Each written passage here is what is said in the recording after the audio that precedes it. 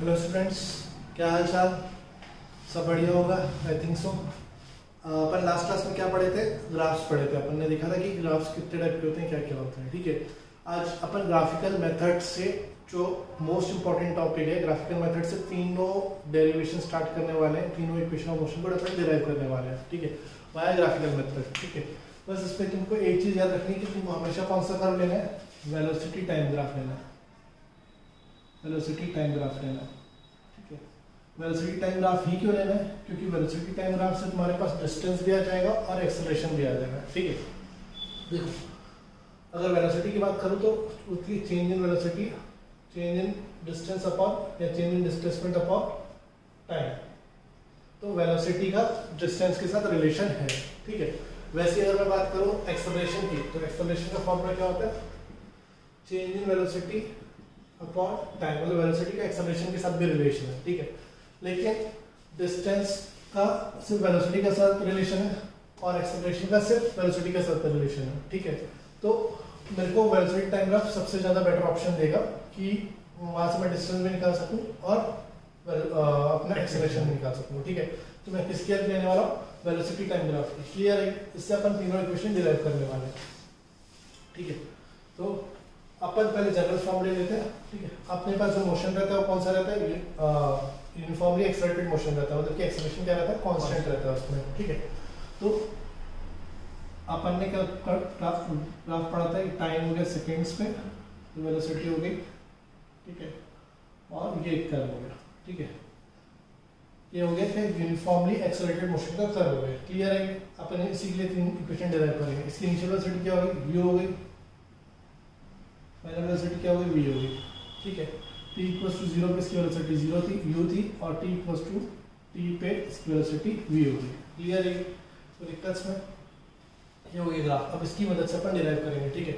और वन सी तीन इक्वेशन थी याद करो उसको एक बार अपन बोल देते हैं। क्या था? V equal to u plus at at दूसरी होती थी v s equals to ut plus half at square half at square और थर्ड होती थी v square equal to u square plus 2as ये तीनों इक्वेशन अपन डिराइव करेंगे ग्राफिकल ठीक है? चलो, अब दो तीन कंसेप्ट पढ़ लेते हैं एक कंसेप्ट है स्लोप का। स्लोप क्या होता है? ठीक है? स्लोप मतलब ढलान। स्लोप मतलब ढलान, ठीक है?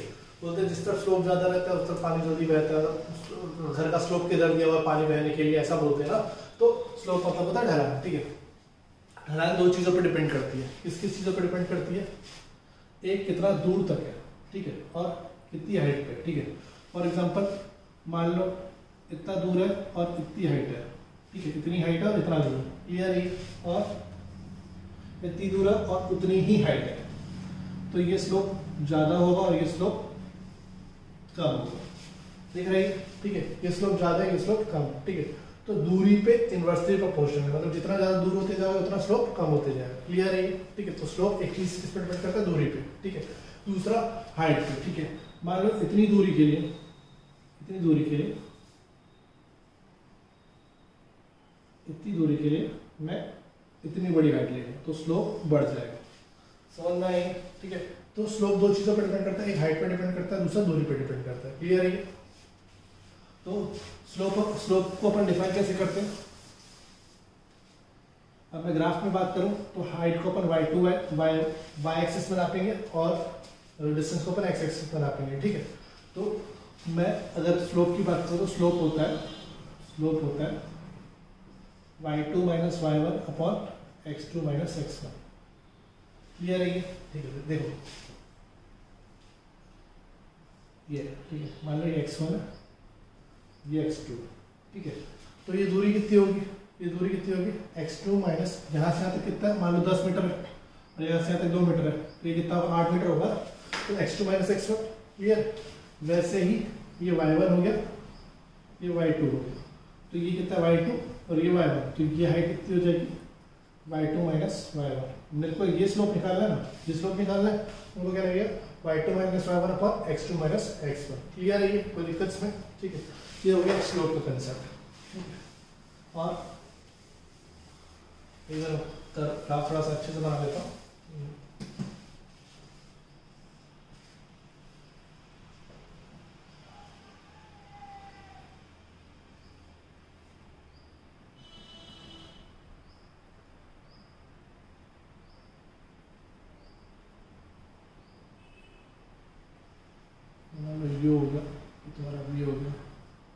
ज़ीरो हो गया टी हो गया ठीक है ये ग्राफ हो गया इसको कुछ नाम दे देता हूँ। इसको ओ नाम दे दिया इसको ए दे दिया। ये बी हो गया ये सी हो गया ये डी हो गया ये ई हो गया। ये पॉइंट्स मैंने बस नाम दिया और कुछ नहीं दिया ठीक है? अब मैं निकालता हूँ slope of A C slope of A C slope of A C क्या होगा? स्लोप ऑफ़ ए सी क्या होगा? ये हाइट अपॉन ये distance slope of A C क्या होगा? C D upon A D ठीक है? तो C D upon A D clear है? ठीक है? अच्छा देखो, कुछ थोड़ा सा यहाँ पे ध्यान दोगे तो तुमको दिखेगा। ओ ए कितना है? यू है क्या? ओ ए कितना है? यू है। तो ओ ए की जगह क्या रख सकता हूँ? यू रख सकता हूँ। क्लियर है ओ बी कितना है? वी है। ओ बी कितना है? वी है। ओ बी कितना हो गया? वी हो गया। ठीक है? ओ ई कितना है? ओ ई कितना है? टी है ओ ई कितना है? टी है तो ओ ई हो गया तुम्हारा टी ठीक है? अच्छा। ए डी कितना है? ए डी भी टी है। ए डी और ओ इक्वल है। ए डी भी कितना है? टी है। तो ए डी क्या रख सकता हूँ? टी रख सकता हूँ। ठीक है। अच्छा डी ई कितना है? यू है। डी कितना है? यू है। और सी ई कितना है? वी है। सी ई कितना है? वी है। ठीक है क्लियर है। अब मेरे को सी डी निकालना है। ठीक है सी तो मेरे पास पता ही नहीं सी क्या है? सी पता है क्या मेरे को? नहीं पता। लेकिन सी को मैं क्या लिख सकता हूँ? सी ई माइनस डी ई लिख सकता हूँ। देखो, ये सी है, ये ई है और ये डी है। ऐसे ही इसको मैं टेढ़ा कर दिया बस और कुछ नहीं, ठीक है? मेरे को सी चाहिए। तो मैं पहले सी तक चला गया और डी वापस आ गया। ठीक है? पहले सी तक चला गया, फिर डी वापस आ गया। तो मेरे को क्या मिल जाएगा? सी मिल जाएगा, कोई दिक्कत इसमें तो मैं ये बोल सकता हूँ सीई में से अगर मैं डी को हटा दूँ सीई में से अगर मैं डी को हटा दूँ तो मेरे को क्या मिल जाएगा? सी डी मिल जाएगा। तो सी डी की जगह क्या लिख सकता हूँ? सी माइनस डी रख सकता हूँ? कोई दिक्कत इसमें तो हो जाएगा C minus D upon A D ठीक है? अच्छा ए डी की जगह क्या रख सकता हूँ मैं? टी सी की जगह में क्या रख सकता हूँ? वी और डी की जगह में क्या रख सकता हूँ? यू ठीक है? तो v minus u upon t ठीक है? ये क्या होता है? V minus u upon t क्या होता है? Change in velocity upon time क्या होता है? एक्सेलरेशन होता है। तो मैं ये बोल सकता हूँ स्लोप ऑफ़ एसी क्या देगा मेरे को? एक्सेलरेशन देगा। समझ में आएँगे तो velocity time graph velocity time graph का स्लोप क्या देता है अपन को? एक्सेलरेशन देता है। क्लियर है ठीक है? तो a इक्वल्स टू क्या हो गया? V minus u upon t a t कितना हो गया? V माइनस यू तो v कितना हो गया? U प्लस ए टी समझ में आया? ठीक है। तो ये हो गया। ठीक है, इससे पहले अपन ने जो डेरिवेशन किया तो उसमें मैंने एक स्टोरी दिखाई दिया if a body is moving with initial velocity u after time t, its velocity becomes v, and the acceleration is a, ऐसा करके अपन ने स्टोरी लिखी थी। वो चीज़ आपको यहाँ पे भी लिखनी है। ठीक है। और साथ ही साथ ये तुमको ग्राफ बनाना है। उसके थ्रू लिखा है। Acceleration equals to slope of velocity time graph. ठीक है? ये लिखना फिर यहाँ से स्टार्ट करना है ठीक है? क्लियर है ये कोई दिक्कत इसमें बन जाएगा? समझ में आ गई? ठीक है? तो ये हो गया। ठीक है? फिर अपन आते हैं। ये हो गया हमारी फ़र्स्ट इक्वेशन फिर से एक बार रिपीट कर स्लोप ऑफ़ एसी क्या होगा? हाइट अपॉन डिस्टेंस हाइट कितनी है सी डी डिस्टेंस कितना है ए डी ठीक है? सी डी को क्या लिख सकता हूँ मैं? सी माइनस डी लिख सकता हूँ। तो सी डी था कितना मेरा? वी डी कितना था? U v minus u upon t acceleration हो गया a a equals to minus u upon t तो v equals to u plus a t clear है ठीक है? सेकंड इक्वेशन डिराइव करते हैं। सेकंड इक्वेशन डिराइव करने के लिए अपन को जाना पड़ेगा कि डिस्टेंस एंड डिस्प्लेसमेंट डिस्प्लेसमेंट होता है area under the curve area under the curve कौन सा कर्व वेलोसिटी ग्राफ क्या देता है तुमको? डिस्प्लेसमेंट देता है, ठीक है। एरिया अंडर द कर्व क्या देगा? वेलोसिटी देगा। सॉरी डिस्प्लेसमेंट देगा। एरिया अंडर द कर्व ये जो एरिया रहेगा, वो क्या देगा तुमको? डिस्प्लेसमेंट देगा। समझ में आएगा? ठीक है तो एरिया ये एरिया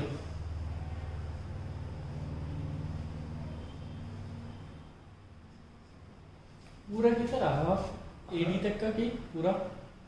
ये एरिया आ, स्लोप का एक्स एक्सिस में जो एरिया का होता है एक्स एक्सिस में जो एरिया का होता है 98 टाइम के साथ जितना एरिया का होता है वो क्या देगा तुमको? एडी तक कि ओटी तक का? हाँ। एडी तक का कि ओटी तक का? हाँ। ओई तक पूरा। ओई तक पूरा। ओई तक पूरा। पूरा टाइम एक्सेस तक टाइम एक्सेस तक पूरा जो रहेगा वो क्या देगा तुमको डिस्प्लेसमेंट देगा ठीक है? तो डिस्प्लेसमेंट क्या होता है? एरिया इंटू द कर्व अब ये एरिया का तुमको दिख रहा होगा ये एक रेक्टेंगल दिख रहा है, ये पूरा एक रेक्टेंगल दिख रहा है और ऊपर एक ट्रायंगल दिख रहा है तो मैं क्या बोल सकता हूँ? Displacement s equals to area of O E D E O A D E area of O A D E plus area of triangle कौन सा triangle A C D triangle A C D triangle A C D ठीक है? अच्छा area of rectangle क्या होता है? Length into breadth area of rectangle क्या होता है? लेंथ इनटू ब्रेथ तो लेंथ क्या हो जाएगी? ओ ई ब्रेथ क्या हो जाएगी? ओ ए ठीक है तो मैं क्या लिख सकता हूँ? ओ ई इंटू ओ ए समझ में आई? ठीक है? प्लस ट्राइंगल का एरिया क्या होता है? Half base into height base क्या हो जाएगा? एडी हाइट क्या हो जाएगी. C D A D into C D clear है कोई दिक्कत है ठीक है। हाइट हमेशा परपेंडिकुलर रहती है ना? हाइट हमेशा क्या रहती है? परपेंडिकुलर रहती है। तुमको परपेंडिकुलर दिख रहा होगा। क्लियर है ठीक है। ओ ई ओ ई को बुलाया कौन है? टी आया ओ ई को बुलाया कौन है? यू आया तो ये क्या हो जाएगा? यू टी समझ में प्लस हाफ़। एडी एडी क्या? है टी एडी टी है। और सी डी क्या है? सी डी को ध्यान से देखोगे तो क्या लिख सकते हो फिर से? सी माइनस डी ठीक है? तो क्या रहेगा? C E minus D E clear है ठीक है। तो ये जाएगा u t plus half C की जगह रहेगा वी डी की जगह रहेगा यू इंटू टी क्लियर है ये। ठीक है फ़र्स्ट इक्वेशन से देखो v माइनस यू की वैल्यू क्या होगी? V माइनस यू उधर लगा तो क्या रहेगा तुमको? 80 मिलेगा फ़र्स्ट इक्वेशन से। तो v माइनस यू में क्या रख सकता? 80 रख सकता हूँ ठीक है? तो s क्या आ जाएगा तुम्हारा? S equals to u t plus half a t into t यानी कि u t plus half a t square फिर कैसे v माइनस u की जगह कैसे रखें? V v ये equals to u plus a t है। तो v माइनस यू कितना हो जाएगा? ए टी हो जाएगा। और फिर? फिर v माइनस यू की जगह पे क्या रख दिया? 80 रख दिया। इंटू टी था। 80 इंटू टी कितना हो गया? एटी स्क्वायर हो गया ठीक है सर तो ये हो गया। फिर आ, ये तुम्हारा सेकेंड क्वेश्चन मोस्ट इंपॉर्टेंट है ये। मोस्ट इंपॉर्टेंट ठीक है? यही पूछेगा। 99% परसेंट चांस है कि यही वाला पूछेगा। ठीक है? या या तो ये पूछेगा या तो ये वाला थर्ड वाला पूछेगा। ठीक है? फ़र्स्ट वाला नहीं पूछता है इन जनरल ठीक है मोस्ट इंपॉर्टेंट तो फिर से, देखो, पहले वाले में एक्सेलरेशन बस था तो अपन ने एक्सेलरेशन का फॉर्मूला लगाया स्लोप ऑफ़ द कर्व दूसरे वाले में क्या था? डिस्प्लेसमेंट था। इसका अपन क्या किया एरिया अंडर द कर्व तीसरे वाले में डिस्प्लेसमेंट है तो उसमें भी वही अपन करेंगे एरिया अंडर द कर्व ठीक है? अब देखो s equals to area under the curve तो एरिया ऑफ़ ये पूरा कि rectangle plus triangle rectangle plus triangle rectangle क्या लेंथ इनटू ब्रेथ ट्रायंगल क्या हाफ़ बेस इनटू हाइट ठीक है u t plus half base into height height height नहीं पता थी तो अपन उसको ब्रेक करते जिस- जो चीज़ अपन को पता है उस फॉर्म में। फिर भी माइनस यू की अपन ने फ़र्स्ट क्वेश्चन का यूज़ किया 80 रखा, अपना आंसर आ गया क्लियर है? कोई दिक्कत इसमें ठीक है। फिर लास्ट वाला फिर से।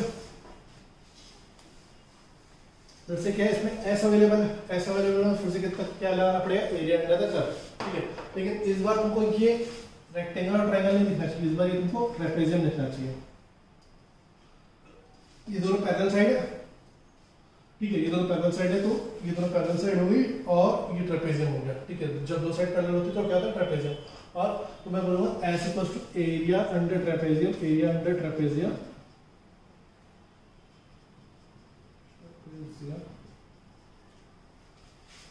O A C E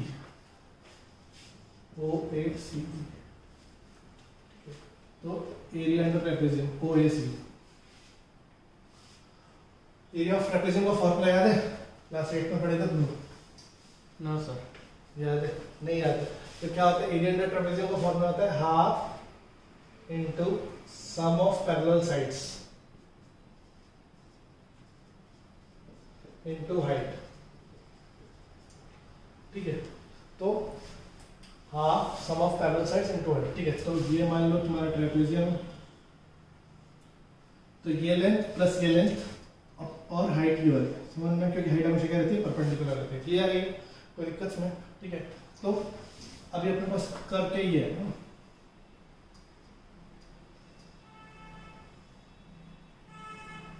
O A C ई ठीक है। तो पैरेलल साइड तुमको दिख रही होगी ओ ए और क्या? सी ई ठीक है हाइट क्या होगी? तुमको परपेंडिकुलर दिख रहा है परपेंडिकुलर दिख रहा है तो ये क्या होगी? तुम्हारी हाइट होगी। सेवन नाइन तो क्या बोलूँगा मैं?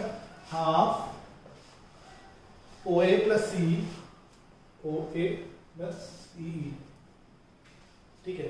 इनटू हाइट क्या है? ओ ई क्लियर है हाइट कैसे होगी? क्योंकि परपेंडिकुलर हाइट क्या होती है? दोनों पैरेलल साइड के बीच की लेंथ ठीक है? यहाँ पर ट्रेपेजियम ठीक। था तो अपना क्या था ये? ये हाइट होती थी।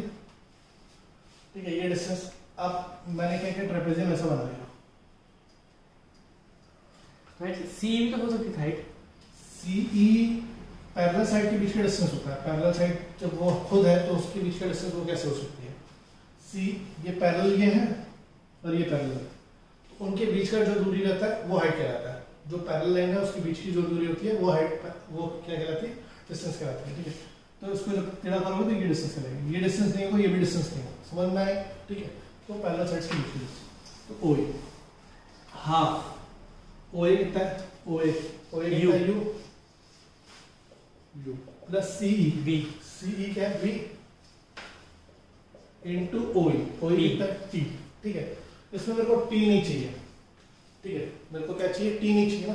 तो मेरे को टी की वैल्यू निकाल लेता हूँ यहाँ से। टी की वैल्यू क्या हो जाएगी? B minus u upon a डाल देता हूँ यहाँ पे। तो क्या हो जाएगी? S equals to one by two u plus v into v minus u upon a a plus b a minus b a square minus b square यानी कि एस हो जाएगा तुम्हारा one by two b square minus u square जो plus वाला portion रहता है ना, जिसमें माइनस साइन नहीं रहता, वही पहले आता है। ये प्लस है, ये भी प्लस है, ठीक है? तो b square minus u square upon a तो टू ए इधर आ जाएगा। Two a s equals to b square minus u square यानी कि b square equals to u square plus two a s ठीक है? तो एकदम सिंपल है और ध्यान से पढ़ोगे तो एकदम सिंपल है। ठीक है? पहले वाले में स्लोप स्लोप दूसरे वाले में एरिया लेकिन उसमें कौन सा वाला लेना रेक्टेंगल प्लस ट्रायंगल ठीक है? तीसरे वाले में एरिया लेकिन ट्रेपेजियम बस फिर तो डेरिवेशन खुद ब खुद बनना चालू हो जाएगा क्लियर ये? ठीक है? तो दो बार अगर बनाओगे तीसरी बार पकड़ के बनाओगे तो तुमको याद हो जाएगा। ठीक है? और मोस्ट इंपॉर्टेंट है आएगा ही आएगा। 99 परसेंट चांस है कि आएगा ठीक है? और इसी के साथ तुम्हारा फ़र्स्ट चैप्टर कंप्लीट होता है थ्योरेटिकल ठीक है, अब इसके ऊपर कुछ क्वेश्चन पूछ लेता है न्यूमेरिकली कुछ क्वेश्चन पूछ लेता है ग्राफ्स के ऊपर। तो ग्राफ के ऊपर कुछ क्वेश्चंस कैसे रहते हैं वो बता देता हूँ, बाकी तो बन जाएगा तुम लोगों से।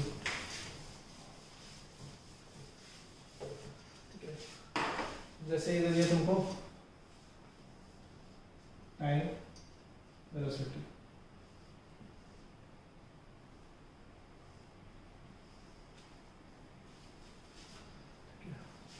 zero two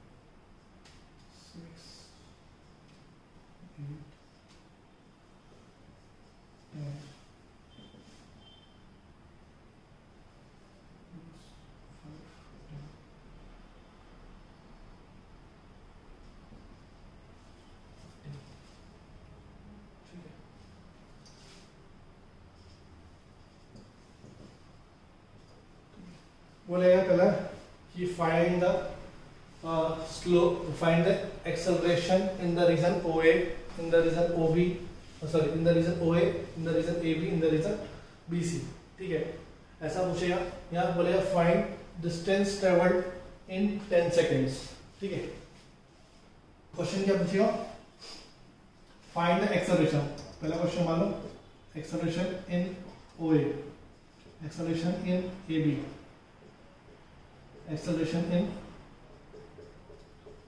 dc ठीक है. Distance travelled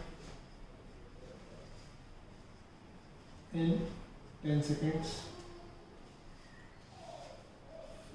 distance travelled in